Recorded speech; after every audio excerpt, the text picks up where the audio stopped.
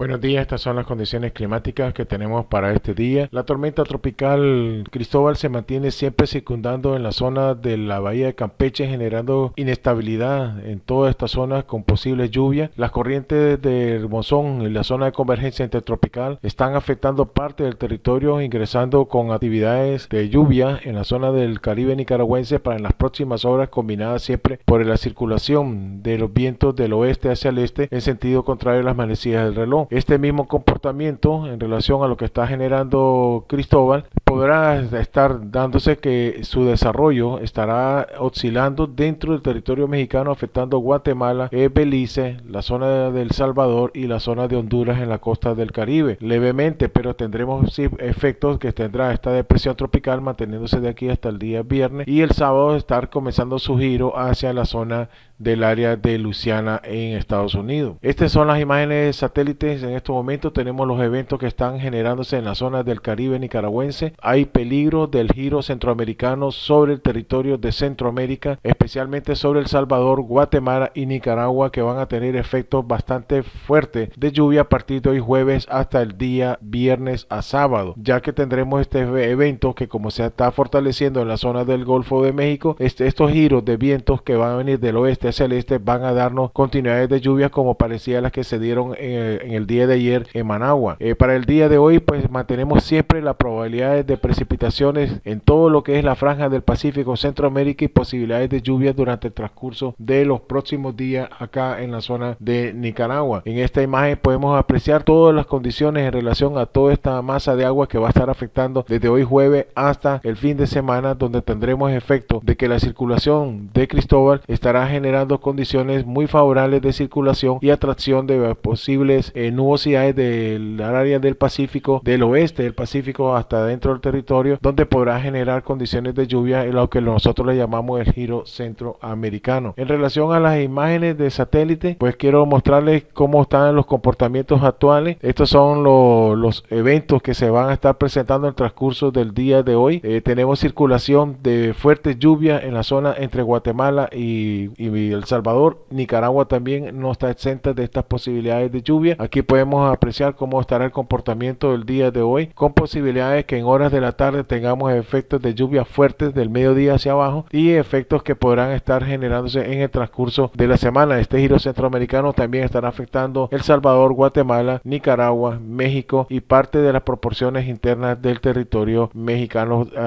eh, cerca del área de, de la Bahía Campeche que está teniendo pues estos efectos bastante fuertes. Les repito, vamos a tener condiciones de lluvia bastante severas en todo el territorio nacional, eh, principalmente desde la zona del sur, del norte de México hacia la zona de Guatemala con frontera con México, mientras mantengamos estos dos días este sistema de, Cristóbal afectando el territorio del área de, de, México y que tendremos pues las afectaciones sobre el área Centroamérica por el giro centroamericano. Hay que tener mucha precaución ante esta situación. Que tengan muy buenos días. Les habló Agustín Moreira desde el Centro Humboldt Managua. Buenos días.